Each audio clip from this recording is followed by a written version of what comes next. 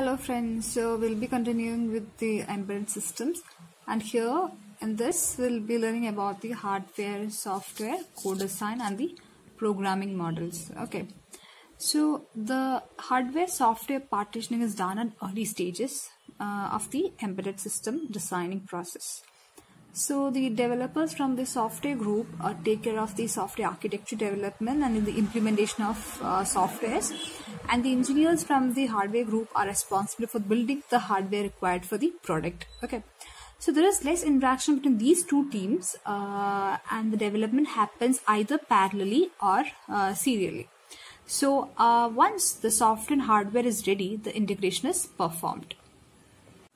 So all these steps comes under the traditional development approach of the hardware software co-design. So now we'll see the fundamental issues uh, we are facing in the hardware software co-design. Okay. So the first so the first one is model selection. It captures and describes the system characteristics and specification. So the second one is architecture selection. So we have said that the model only captures the system characteristics and does not provide information on how the system can be manufactured. So the architecture selection specifies how a system is going to implement in terms of the number and the types of different components and the interactions among them. Okay. So the next is language selection. So a programming language captures a computational model and maps into the architecture. Okay, so a model can be captured using multiple programming languages like uh, C, C++, uh, Java, etc. for the software implementations and the languages like uh, System C, Verilog, uh, R, etc. are used for the hardware implementation. Certain languages are good in capturing certain computational model. For example, C++ is a good candidate for capturing an object-oriented model. Okay, so the only prerequisite in selecting a programming language for capturing a model is that the language should capture the model easily. And the last we have the hardware software partitioning. So the implementation aspect of a system level requirement is the hardware and software partitioning. Okay. The factors such as reusability, performance, effort, etc. are used for making a decision on the hardware software partitioning. Okay. Now we'll see the computational models of uh, software hardware co-design. Okay. So the first one is data flow graph. So data flow graph is a graphical representation of the flow of data and in, it is an information oriented and it passes data between the other components. So this is best suited for the modeling embedded system. So you can see here an example.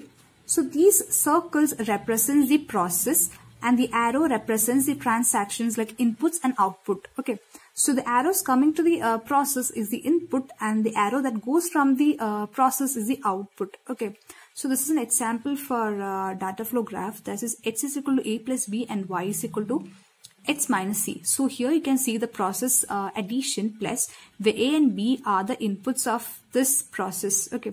Let me name it as capital A. Okay. So this is the process capital A so the output from capital A is the X which goes as an input to the process number 2 that is B okay set B 2 as an input and here you can see the C also coming as the input. So then after the processing this will get a output as Y okay.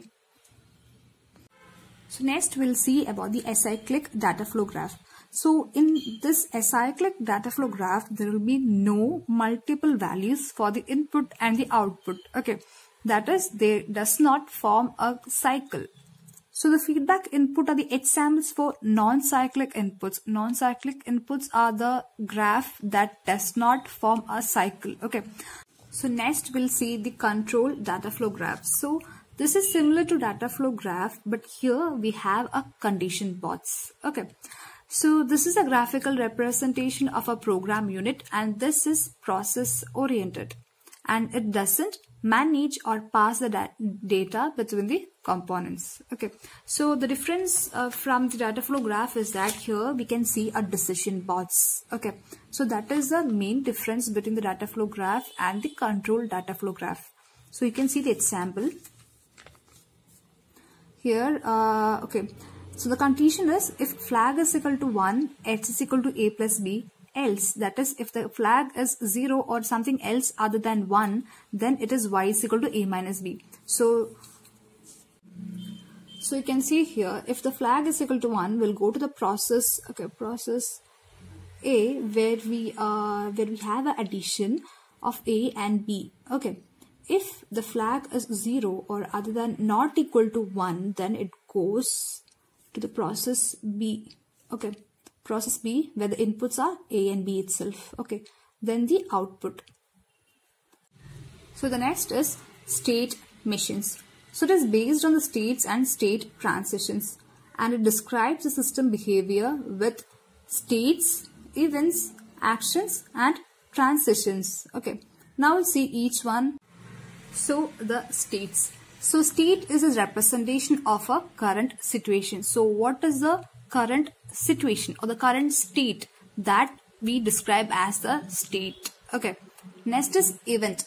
Event is an input. Event is an input to the state. Okay. An event acts as a stimuli for the state transition. Next the actions. Action is an activity that to be performed by the state machines and next last we have the transition transition is the movement from one state to the another so from our state a we are going to state b so that is a transition okay so these four are important so the FSM. FSM is a finite state machine. That is the number of states are finite. And the extension of the FSM is the hierarchical concurrent uh, FSM that is a finite state machine that is used for supporting a hierarchy and the concurrency. And also uses the state charts for capturing the seat that is states, events, actions and transitions. So you can see an example for the state machines. Uh, this is the example of automatic uh, seat belt warning system. So you can see here the three states that is alarm off, waiting and the alarm on.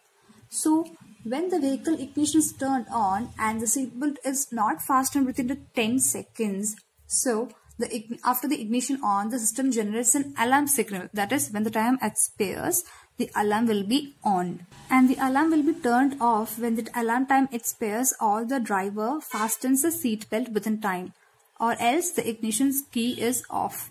So there are three possibilities of uh, alarm becoming off.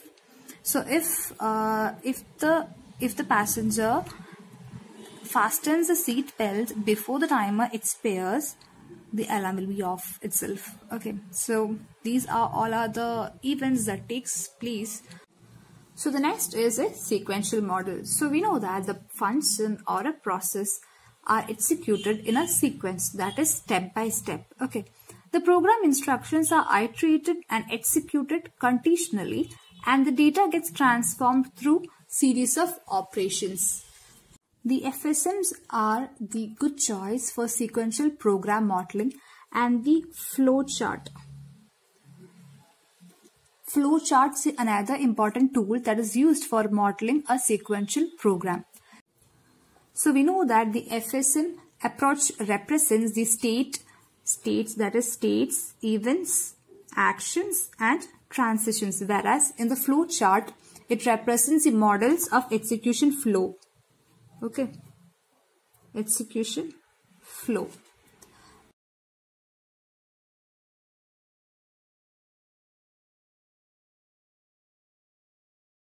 So next we'll see about the concurrent model. Okay. So a system functionality is described using a multiple computation model. Okay. It allows to describe the functionality of a system in terms of two or more concurrently executing subtasks so we know that in a system we have a multiple task, right? So these multiple tasks run uh, simultaneously. So have to use the processor efficiently. So it uses multitasking scheme where the process requirements are split into multiple tasks. So if there is a process, their process is divided into uh, multiple subtasks. Okay. These tasks are executed concurrently. So the events are used for synchronizing these execution of tasks. So next we'll see about the object oriented model. Okay. So it is a construction of objects using a collection of objects and that contains stored values of the instance variable found within an object. Okay. So it allows object identification and communication while supporting the data abstraction, inheritance and encapsulation. So these are the important concepts or important terms that comes under the object oriented oriented model. Okay. So it consists of developing object representation through three phases that is analysis, design and implementation. So object-oriented model typically done via use cases and abstract definitions of the objects. So the common language that is used uh, to do object-oriented modeling is the UML.